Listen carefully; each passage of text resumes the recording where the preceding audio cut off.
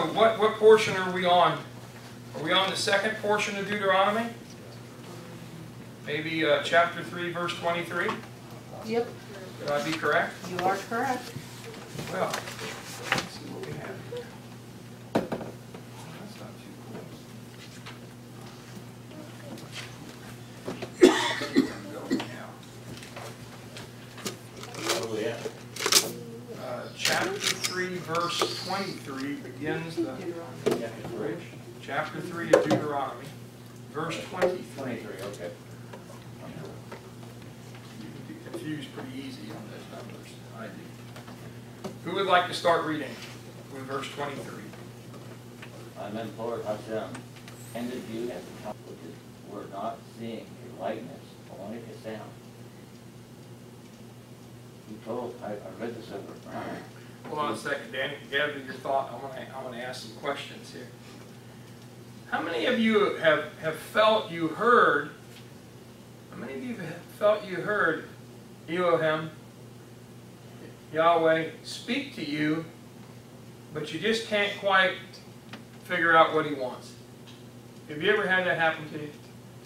Have you ever heard, have you ever heard Yeshua or the Ruach pushing you and you just can't quite grasp what he really wants. I think that, that pretty much describes our, our, our calling, our walk. I mean, we mm-hmm. don't automatically come into the, the faith knowing exactly where we're going. Mm-hmm. So in a sense, every aspect of it is that way. I mean, and, and the more you learn, the more you discover, the more you've got to learn. The more of a basis you've got to learn more. Yeah, but I thought you were talking about actually hearing his voice. I've, I've never actually, I can't say I, I've never really, I can't say, I mean, I, I can say it. I've never heard his voice. The audible voice. I've never heard his audible voice. Right, right. But you've heard him. You've heard him in things that happen, Right. like how we ended up adopting Irina. That was obviously him, his hand. Oh, I, I could say his footprints. I could see his Okay. footprints in my, in my life. Saying that. Everybody realize we, we, we have a new brother with us today. So we have to give him some margin here. Sure. We're using a lot of names that you probably don't recognize. Okay? So just bear with us. It'll come to you as it comes. Okay? Just don't fight it. Yeah, don't fight it. Do, you- do you, do you have a book? Do you have a Bible? Okay, very good. Jim? I think there's a reason we don't actually hear audibly his voice today. Mhm. And that's because in the, in the beginning, in the garden, he visited Adam and Eve.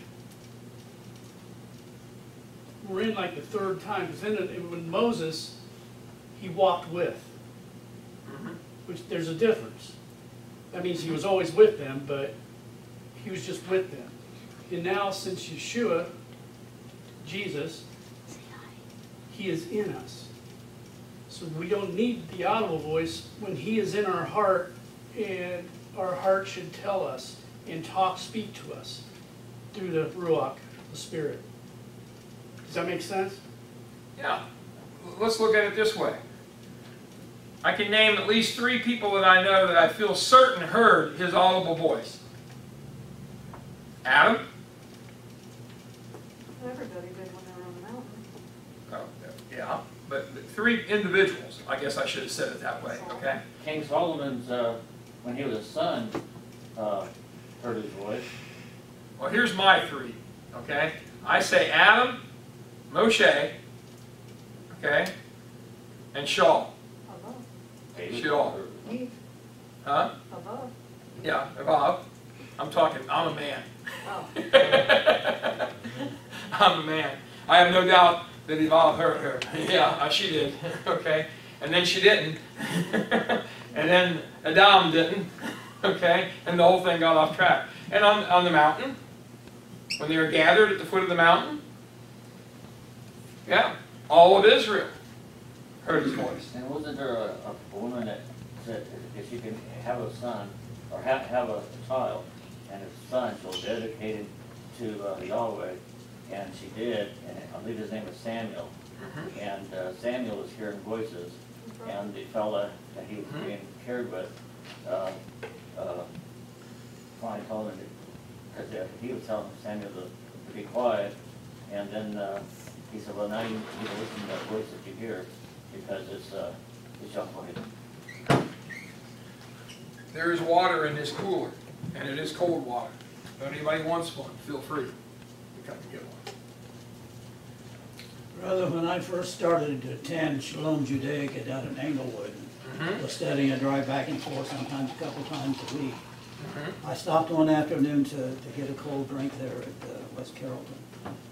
And, uh, oh, I had things on my mind, you know, deal with a lot there and family problems and everything. And I got back out in the car and, and I, I started to leave. And I prayed a weepy little weak prayer. I said, Oh Yahweh, help me to be faithful.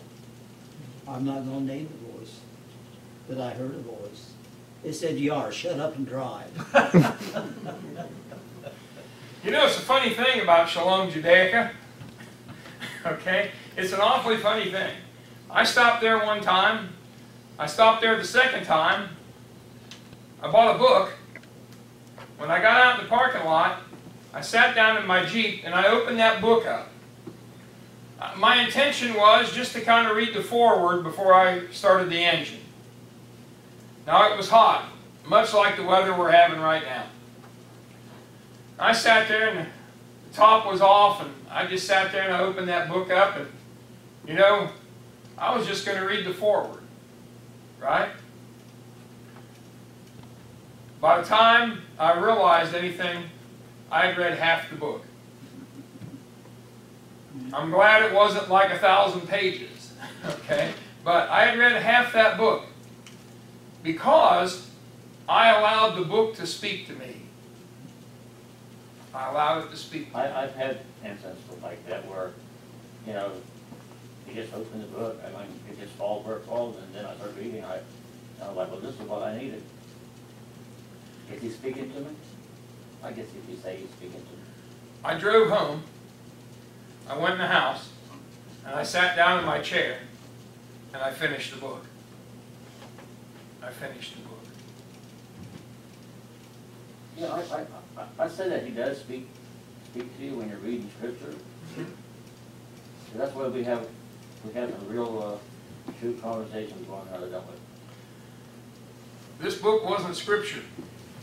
Book I had was, uh, was a book written by Rabbi Barney Ka- Kasdan, San Diego, California. He, um, the book was called God's Appointed Times. And it was simply a book about Leviticus 23, to say, to say it properly. And once, once the light bulb came on about Leviticus 23, there was no stopping.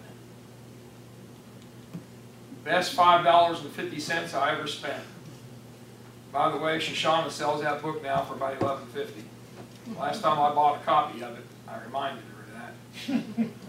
She also told me it had been over ten years since I bought that first copy. But at any rate, as they, as this very day. Uh, I just want to stop there for, for momentarily. sure, How many of you come from Egypt? Of all, a lot of us come from Egypt. anybody not come from Egypt? Never been there. Never been there? I, I resided in Egypt for a lot of Brother, years. you might still be there. You understand what we're saying? You know where Egypt is? This is why I stopped right here. No. not the country of Egypt. Egypt is where you're at before you come to Yeshua. You're living in Egypt. You're being worldly. It's being out in the world. It's being out with all the nonsense going on, all the craziness, all the bad stuff, you know. We all lived in Egypt. Everybody in this room came out of Egypt. Nobody, nobody came from the above. Okay. Anybody not think they came from Egypt? None of us want to go back to Egypt. No, we crossed the Jordan. Yeah, we done crossed over. We're Hebrews now. Okay, we crossed over. Go ahead, Danny. Yahweh became angry. Go well with you, and you will live long in the land you are about to possess.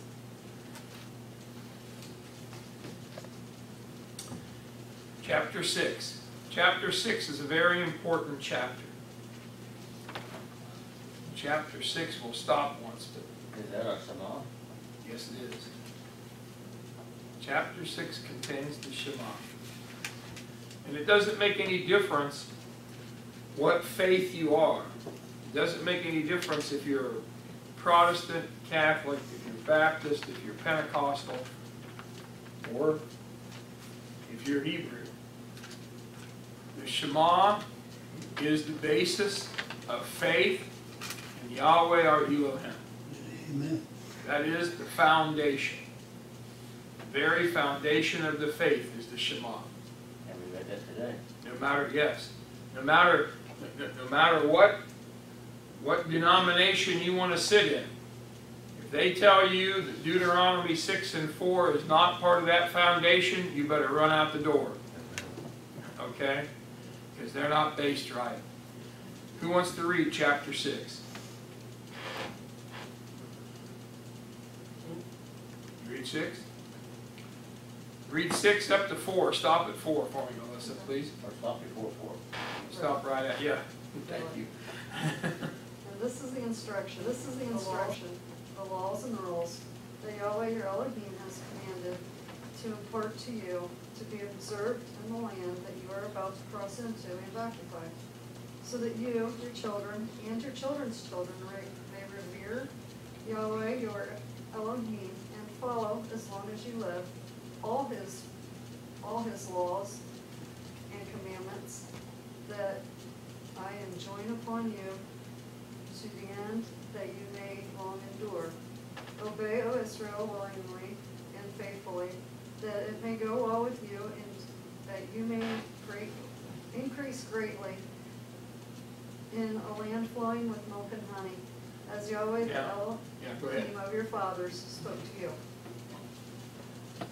I know why Melissa wanted to read that now. It says a land flowing with milk and honey. Are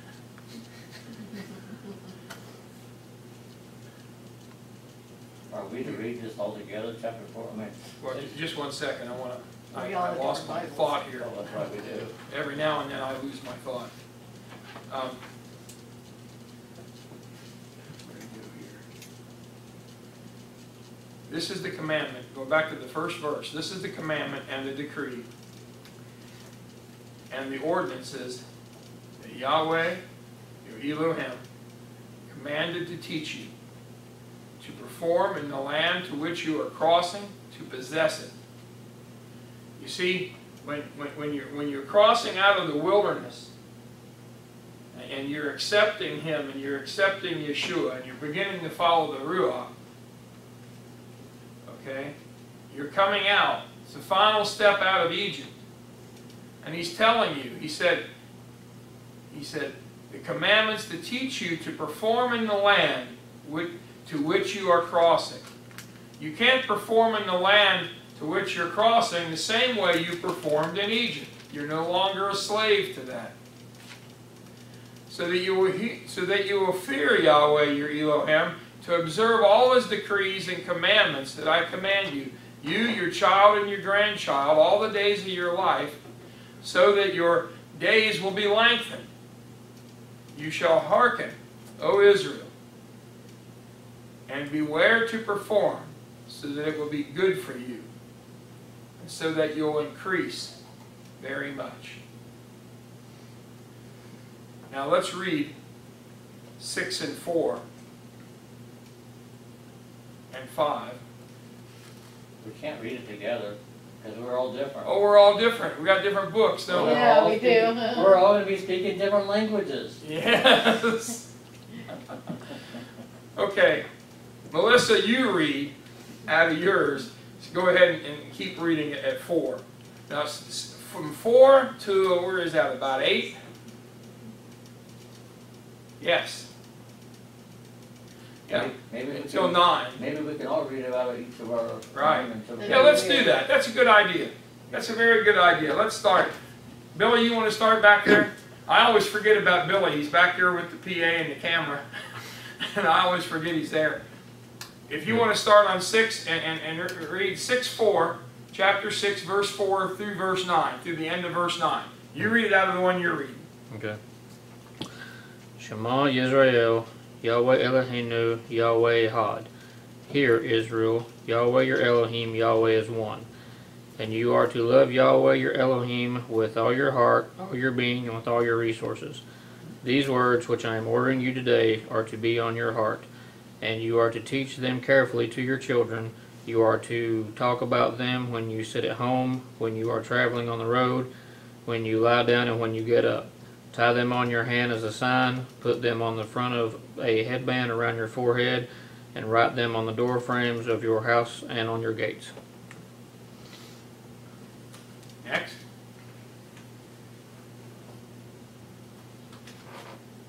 Who wants to read it next? I'll Roger, read- you I'll- want, huh? Good. Roger, you wanna go next? I'll, I'll read it, but I don't like what it says. Okay. It's, uh, Jerusalem Bible, and it's got a little bit of twist. Yeah, it's got, well, I, I've got one of those at the house. It says, listen, Israel, Yahweh our God is the one Yahweh. No, no, no, there's only one Yahweh, there's no comparison. You shall love Yahweh your God with all your heart, with all your soul, with all your strength. Let these words I urge on you today be written on your heart. You shall repeat them to your children and say them over to them, whether at rest in your house or walking abroad, at your lying down, or at your rising. You shall fasten them on your hand as a sign, and on your forehead as a circlet. You shall write them on the doorposts of your house and on your gates. Rest of us. Bruce? Hear, O Israel, Yahweh is our Elohim, Yahweh is the one and only. You shall love Yahweh your Elohim with all your heart, and with all your soul, and with all your resources. And these matters that I command you today shall be upon your heart. You shall teach them thoroughly to your children, and you shall speak of them while you sit in your home, while you walk on the way, when you retire, and when you arise. Bind them as a sign upon your arm, and let them be ornaments between your eyes, and write them on the doorposts of your house and upon your gates. Mine's the same way as Bruce, so I don't need to repeat it. Okay. You, you might want to mention, uh, for your visitor, that's with the phylacteries.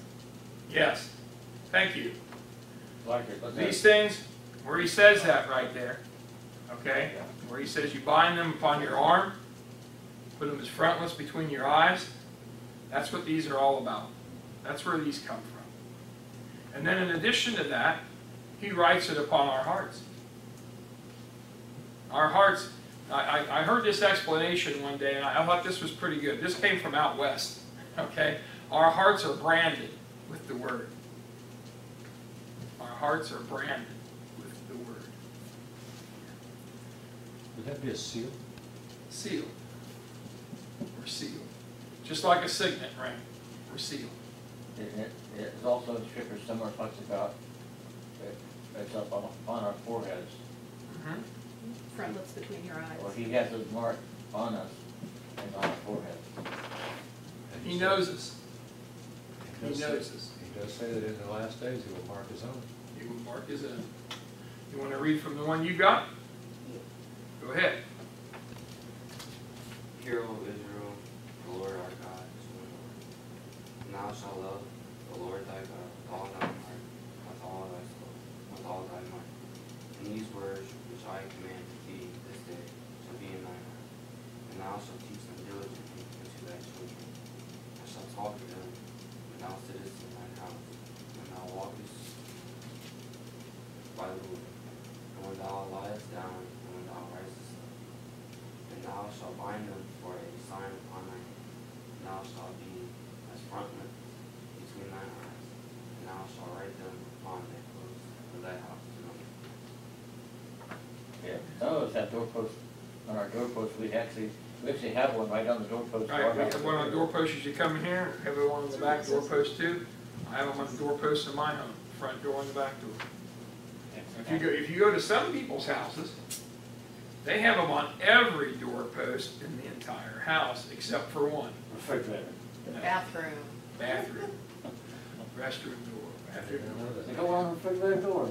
I don't want one on the refrigerator door. I don't want anything stopping me on my way. If I'm getting in that fridge, I want what's in there. Okay, so, mine's the same as Danny's and Bruce's, so we won't go from there. Uh, we should be, about- What about for the Ted? Oh, Tad, Uh, well, I His have is the complete same as- Jewish, so it's the same. it's the same as Billy. Billy. back Yep. there. Me too. Choices, yeah. Could I make keep- comment? not Huh? I heard in some of these other translations, that same issue that I mentioned with this one, Okay, that of comparing him to another.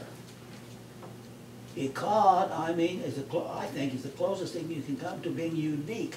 There is one, there is only one, there is no method or basis of quantifying or measuring. I, I always challenge where it says and, the, the one and only. Yeah, I think there's only one. he's one Lord. Ehad is oneness. He's one. We can never lose the oneness of he has. No.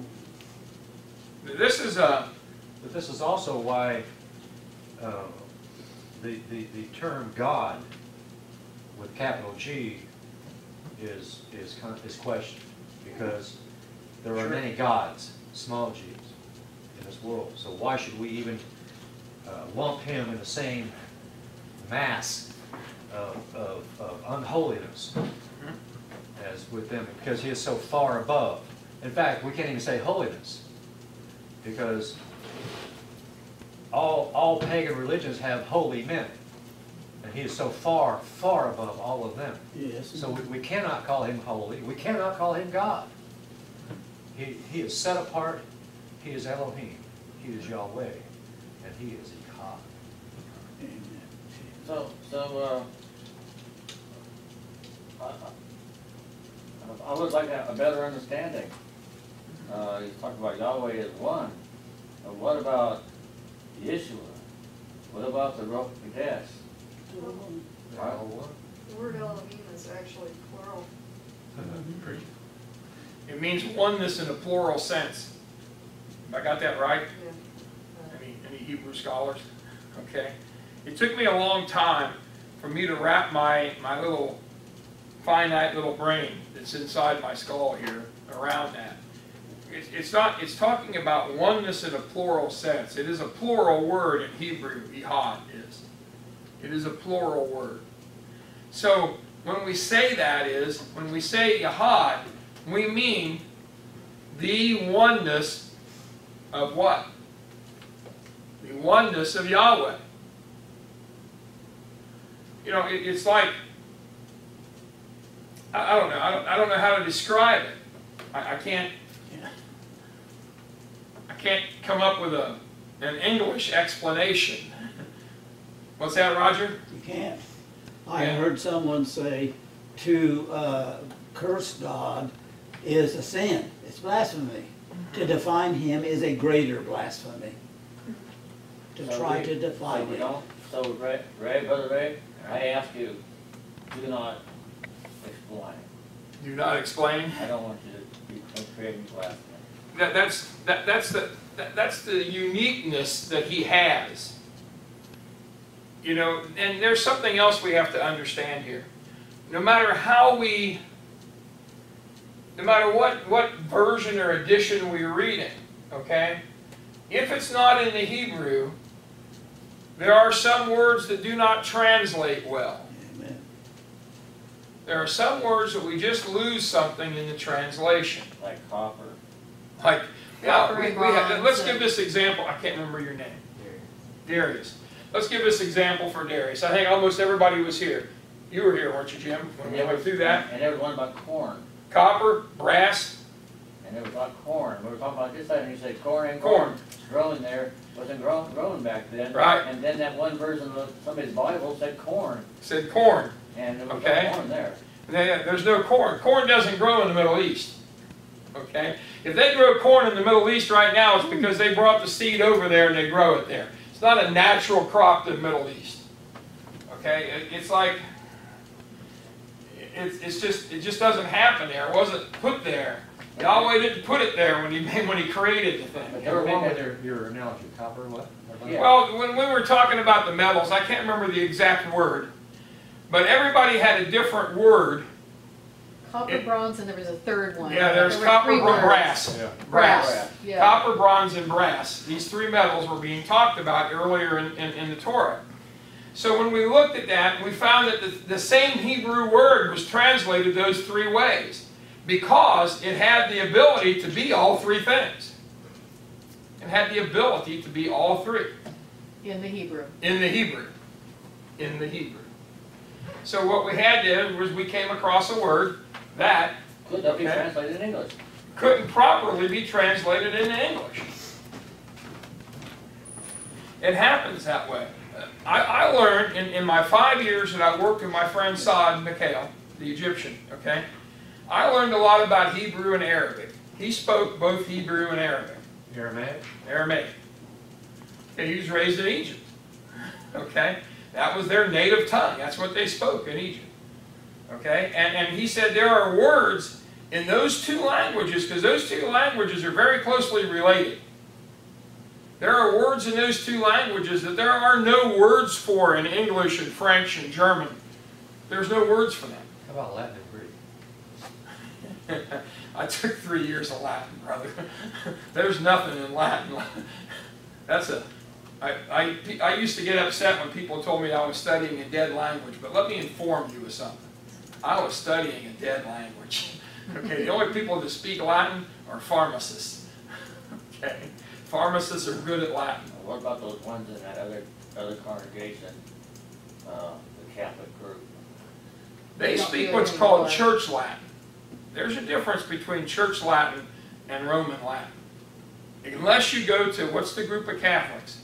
What's the group, huh?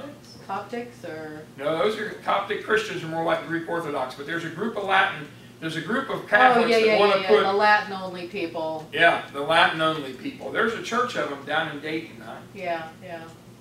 Our next door neighbor used to go down there. Yeah, and- and to each their, what they want, okay? So, we, we, we've read the Shema here in the scripture. You come across the Shema some more, just in different spots here and there. But Deuteronomy six, four through nine is the basis of the Shema. Are we ready to go to verse ten? Let's go. And Yahweh your Elohim bring instruction, the laws and rules with which I charge you today. And that's it for that portion. That's it. That is the end of the portion. Did you, uh, take note on any of the notes that come along the way there, or, uh, below there? I, I didn't read any of them. I didn't read the notes this week. I didn't. I found out about the Torah scrolls and I was so excited, all I did was study about Torah scrolls. May I Yes, share I a verse Yes. about this relationship between Joshua and Moses? Yes, At the end of Moses' life, it is found in Exodus thirty-three and verse eleven. As we just read, this is the scenario that we repeat time and again at the Passover. Um, Of course, Passover meaning going over into the promised land. In Exodus thirty-three eleven, we're told how Moses would go out to the tent of the presence. People would stand in their tent doors, Mhm. watch the cloud and everything. In our Passover services, there is a portion that's recalled or referred to as the afikomen, yes, where we take a piece of bread, bread of life, take bread, matzah, and wrap it in a cloth and put it away for later. It's sometimes called dessert. No, it's not dessert. It's our lifeblood. It's our life. You'll notice in verse eleven of thirty-three Exodus, Moses would go out and come back, but Joshua stayed in the tent like that piece of afikomen, for he was to come after Moses. and that's why, that's why at our Seder meal, we take that piece of, of Afikomen Yes. and we hide it. We wrap it and we hide it, and we let the children go find it. Because they are to come after us. They're the ones that carry it forward from us. Should he tarry? Should he tarry? And Yeshua was the one to come after it all and bring it all to fullness and wholeness. See, most don't really understand that when you start, when you really study Torah, what do you really study? History. History. The history, the truth. Cycling. You're, you're studying the history. You're, you're studying the truth of what came when, before. Roger, was he the bread? He was the bread, just like you were saying, a, a little piece of bread wrapped up. So, uh, Yeshua was the bread. Well, think about it. I've got an example. Hey, I'm not without an example, Roger. Good. We learned that.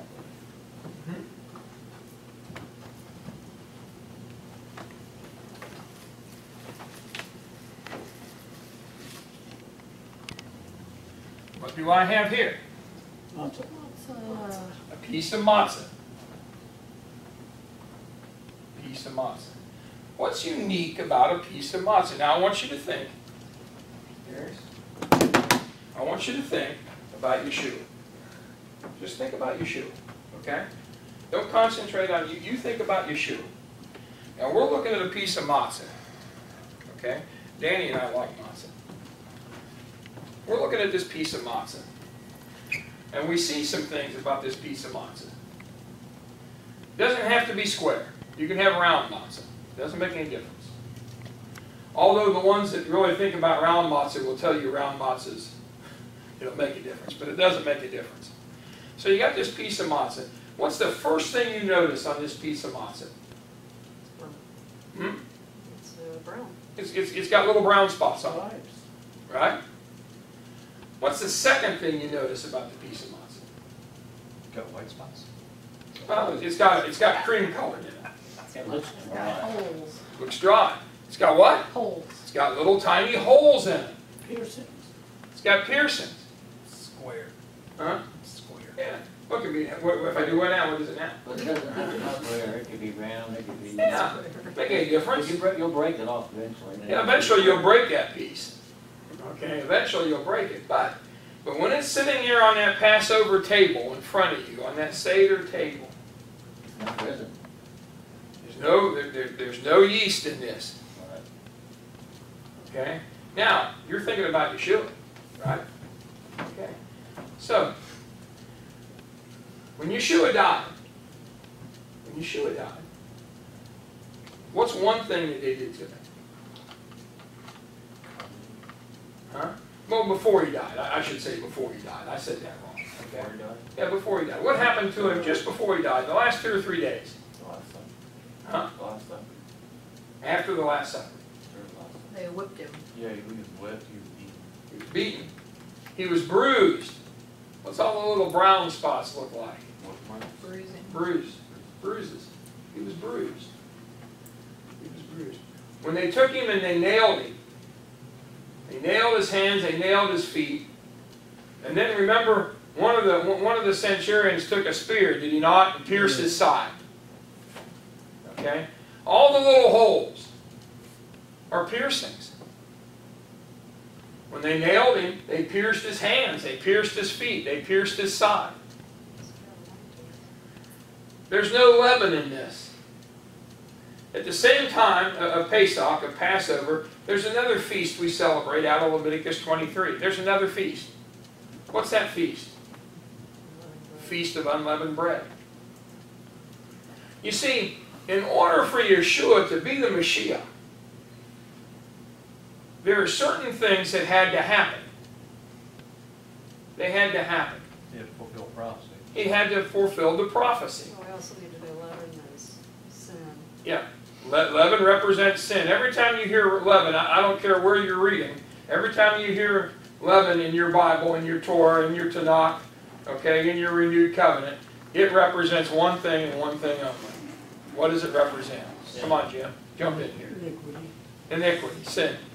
And it, it, it, it, it, it represents our sin. There's no leaven in a piece of matzah. It's unleavened bread. The Feast of Unleavened Bread, if you look in Leviticus 23, you'll plainly see the Feast of Unleavened Bread falls right at the same times as Pesach, as Passover falls. You, you go Passover, and you go Feast of Unleavened Breads in there, and what's another feast that's in there? Feast of the First Fruits. Feast of the First Fruits. What did Shaul, what, what, what did Shaul, Paul, what, what, what did he call that? He mentioned it in Corinthians. He said, he, he said he was the first fruits of the dead. Amen. He rose. I know in Christianity it's all about Easter Sunday. Okay? Big day. You know, I, I grew up in that. Mom had a new hat, dad had a new suit, I had new shoes. It was Easter Sunday. Okay? Didn't- Didn't he, uh, a little girl that had died, didn't he bring her out of sleep? To death? Remember? One of the Yeah. Miracles?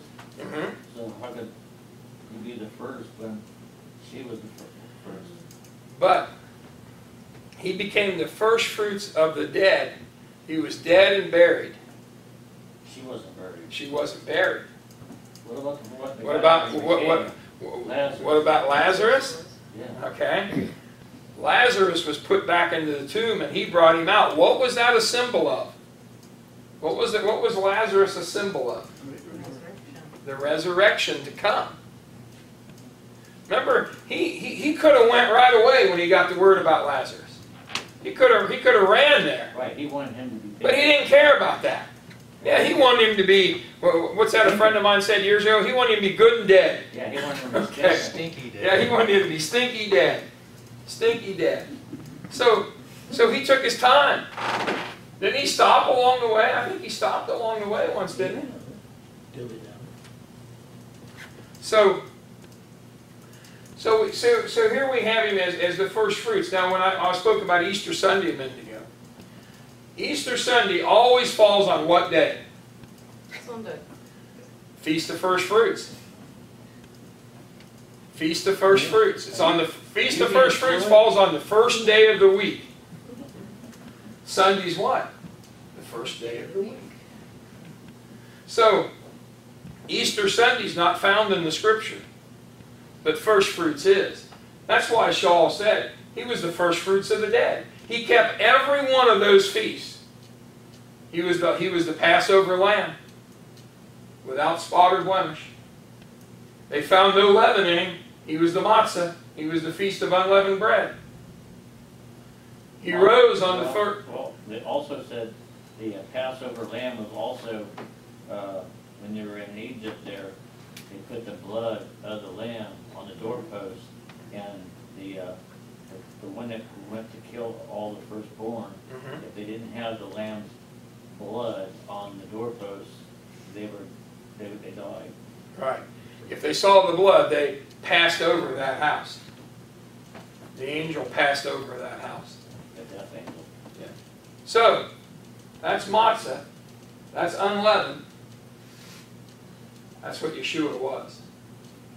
The Afikomen, when we say Afikomen, you take, you have these pieces of matzah, and you take one of them and you slide it into a pocket, or you wrap it in a, I usually wrap it.